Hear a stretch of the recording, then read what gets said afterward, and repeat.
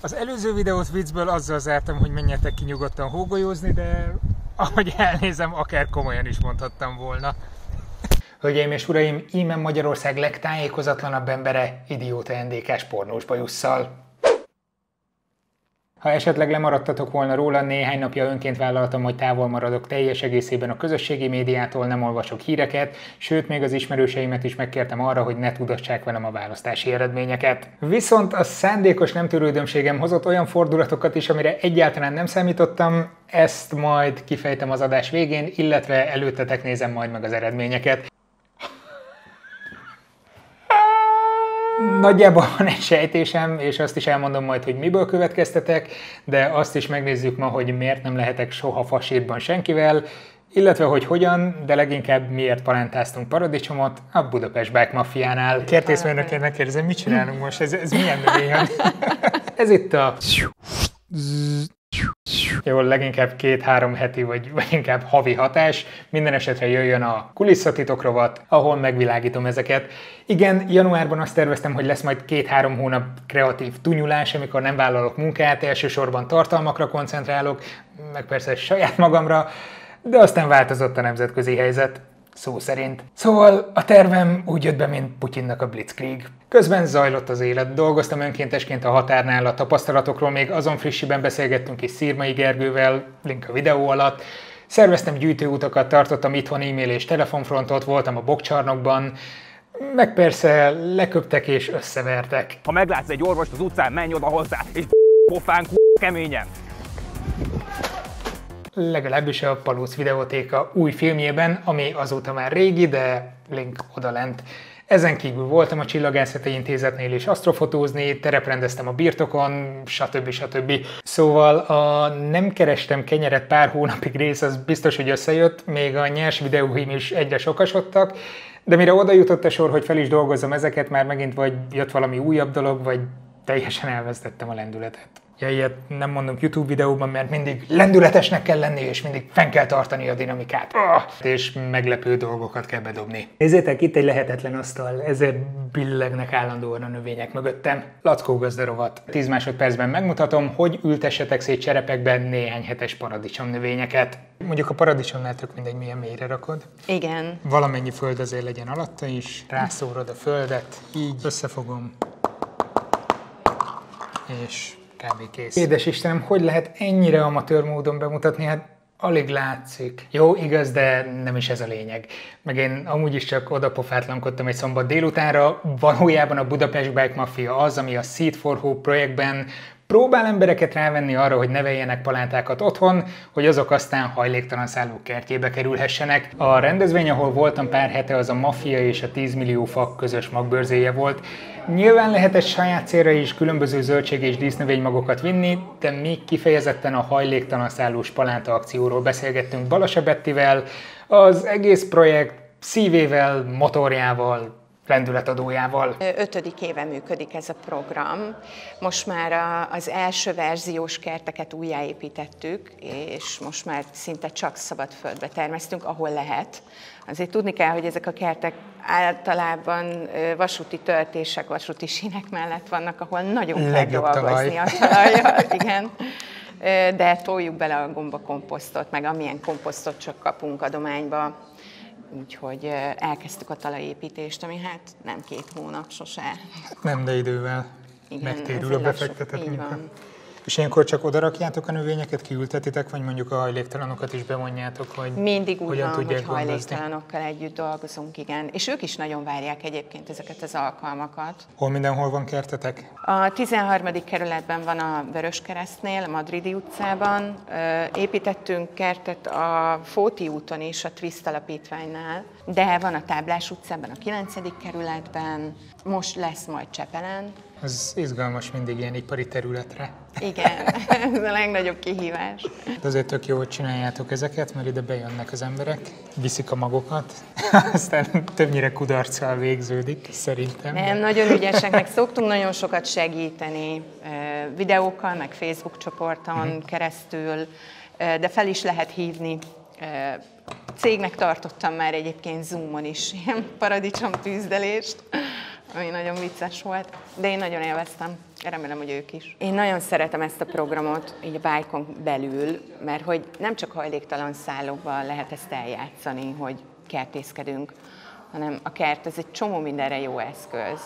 És mindenhol, minden településen van legalább egy olyan bölcsi, ovi, kórházi résznek, idősek otthona, ahol a legkisebb zsebkendőnyi felületen is lehet akár vertikális kertet is kialakítani, és azon kívül, hogy ez egy, ez egy tök jó szabadidős tevékenység, az, hogy túrod a földet, hogy megfogod, van egy anyag, amivel dolgozol, és utána abból lesz valami. Ez Ezt már én is mondtam, halljátok? Igen, De még az is sikerélmény valahol, hogyha például nem marad meg egy növény, mert tapasztalatot nyersz belőle, jövőre még Így jobb van. lesz. Úgyhogy és ezt még meg is lehet enni, ami a legjobb.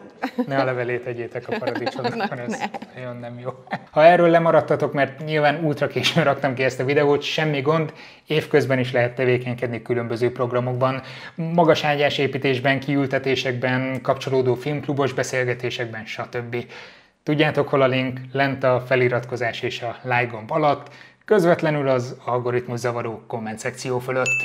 Egyébként azért is jók a közösségi események, mert szorosabbra fűzik az emberi összetartozások gyöngycsorát, és emiatt nem lesznek fasírban senkivel. Beszéljünk akkor most a választások során szétszakított emberi lélekközösségekről. Ja nem, jön a fotelnyelvész rovat. Szerintem korábban átjött már, hogy szeretem a nyelveket, különösen a nyelvtant.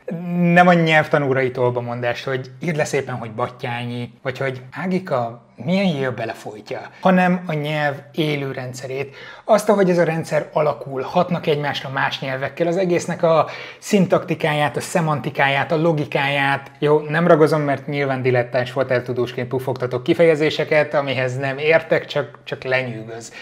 Például az etimológia. Egy szó hogy csusszant a nyelvbe, hogyan idomult hozzá, és hogyan simult bele észrevétlenül. És amikor jön egy-egy ráismerés, az felrobbant az agyamban egy dopaminbombát. Tehát amikor pár hete szembe jött ez a tweet, Biztosan hallottátok már azt, hogy fasírtban van valakivel. Na az nem fasírt, hanem fasé, ami a franciából jön, jelentése harag. Csekkoltam, valóban osztrák közvetítéssel jött hozzánk, és, és sokkal több értelme van így. Mondhatnám, hogy akkor innentől kezdve eltartott kisújjal csak fasét fogok mondani, de amikor az egész környezetem fasírtozik, hát mi a fasé tenném ezt? Úgy érzem túlságosan modoros lenne, a fasírt itt van, bedolgoztuk szépen az anyanyelvünk szőttesébe, értjük, használjuk, nincs vele semmi gond. Szóval nem emiatt leszek fasírban valakivel, hanem a választási eredmények miatt. Hm? Ez elég rossz átkötés volt. Na mindegy, nézzük. Választási eredmények. Mivel hajnalban az első szavazóként én hitelesítettem a szavazóköröm urnáit, volt egy olyan pillanat, amikor 100%-ra tudtam a szavazóköröm eredményét.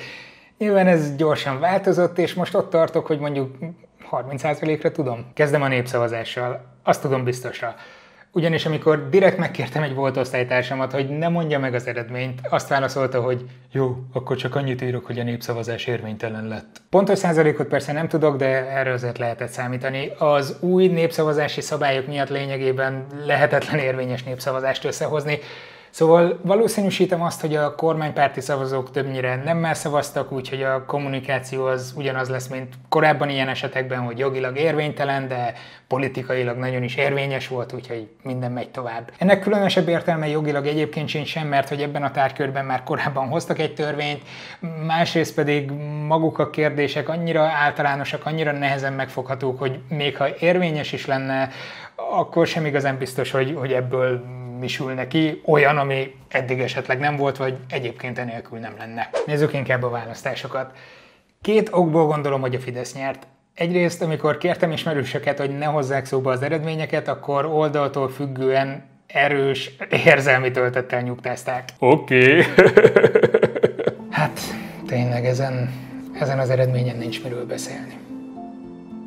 Igazad van illetve ezen kívül az egyik legjobb barátom hevesen elkezdett tegnap este érdeklődni arról, hogy milyen az élet Portugáliában, mert hogy erősen gondolkodik, hogy most már tényleg oda költözik. Nyilván most is, mint 4, meg 8, meg 12 éve a választások előtt egy halom embertől hallottam, hogy ha Fidesz nyer, én biztos, hogy most már tuti, hogy külföldre fogok költözni.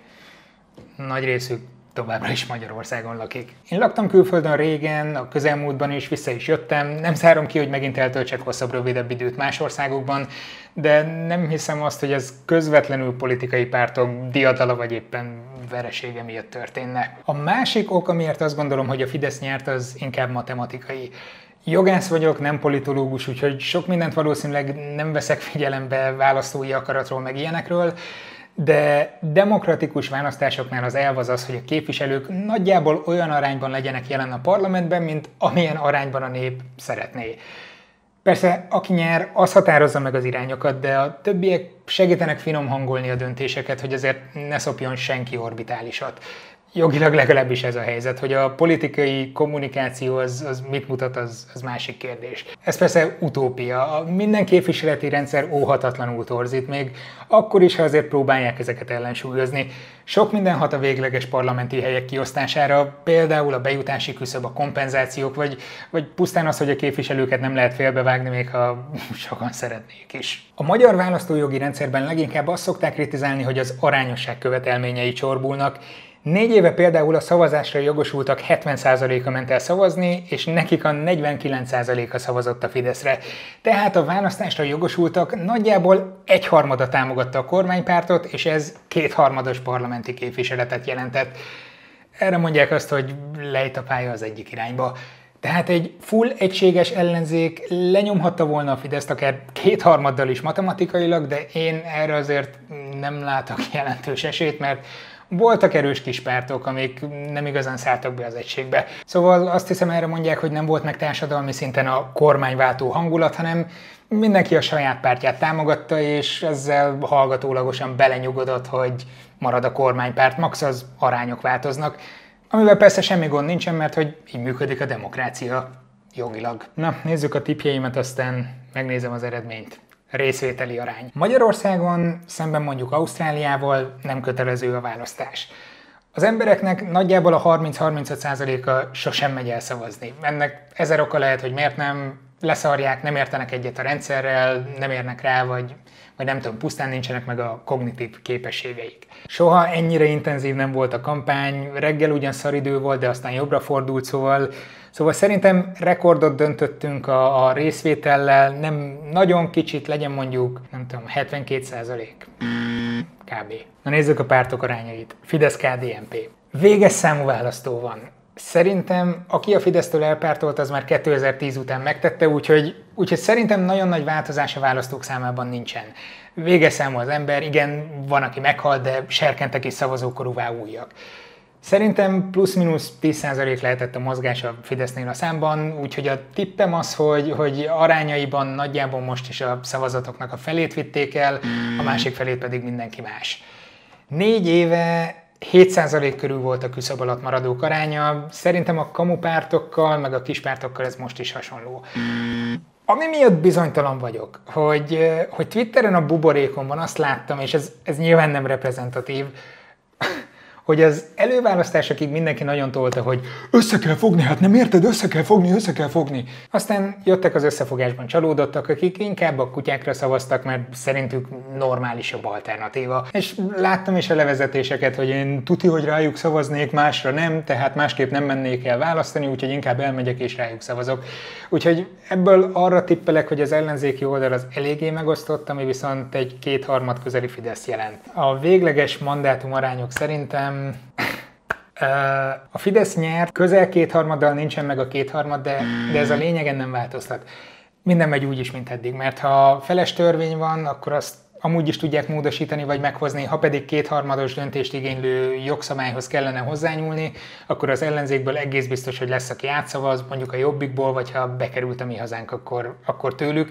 Tehát érdemben nagy változás nem hiszem, hogy lesz, mert hogyha kétharmados törvény kell, akkor össze fogják tudni szedni a parlamenti kétharmadot, úgyhogy eh, mondjuk azt, hogy jogilag nincs kétharmad, de politikailag igen. Szerintem a mi hazánk és a kutyák is a bejutási küszöb környékén vannak. Kispártokat azokat elég nehéz verni, de ők ők eléggé az előtérben voltak mindig. Oké, én nem tudok százalékokat, azt mondom, hogy minimummal ben van a mi hazánk és a kutyák is. A Fidesz picit kétharmad alatt van, a maradék keskeny sávot pedig az ellenzéki összefogás foglalja el. Jelöljük meg, vágó úr. Na, akkor most megnyitok egy böngészőt. Választási eredmények 2022.